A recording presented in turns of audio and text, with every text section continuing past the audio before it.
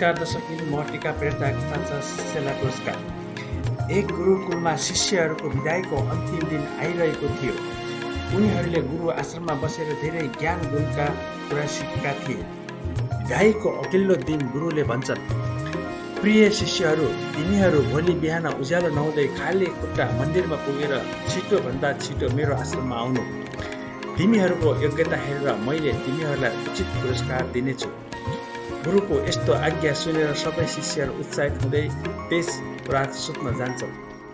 जब बिहान उज्यालो हुन आँटेको थियो सबैजसो शिष्यहरू मन्दिर पुगेर गुरुको आश्रममा आइपुग्छन्। तर एक शिष्य भने अलि ढिलो गरी आइपुग्छन्।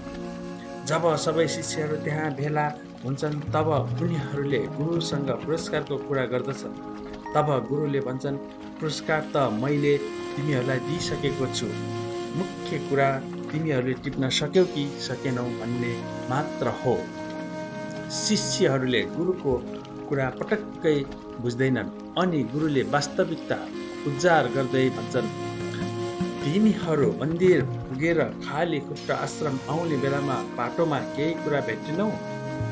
शिष्यहरूले भन्दछन् भेट्यौँ गुरु त्यहाँ बाटोमा चुच्चा परेका तिखा तिखा परेका ससाना ढुङ्गाहरू थिए। तिमीहरूले के गर्यौ ती ढुङ्गाहरूलाई त्यहाँ उपस्थित सबैले एकै स्वरमा भने हामीलाई त दौड जित्नु थियो तसर्थ ढुङ्गा त जस्ताको तस्तै बाटैमा छोड्यौ नि हजुर।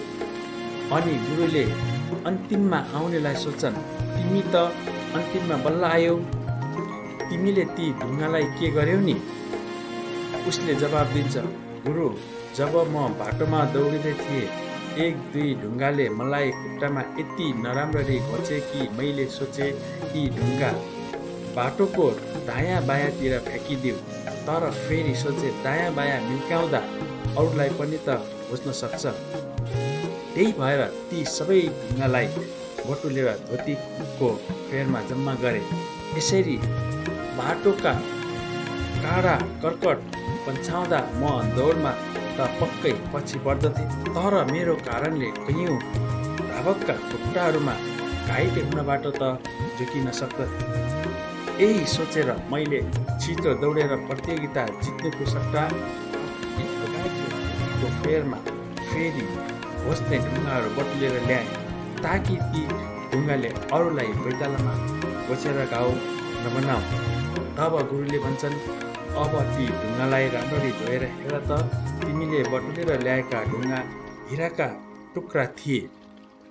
हिराका टुक्रा उसैले पाउँछ जसले अरूको मद्दत गर्छ उपकार गर्छ। आफ्नो मात्र स्वार्थ सिद्धमा लाग्दा हिराको पुरस्कार गुमाउन परेकोमा बाँकी शिष्यहरूलाई लाज बोध हुन्छ। पक्कै पनि यो संसारमा त्यही व्यक्तिले सफलता र खुसी प्राप्त गर्दछ जसले अरूलाई सहयोग गर्दछ।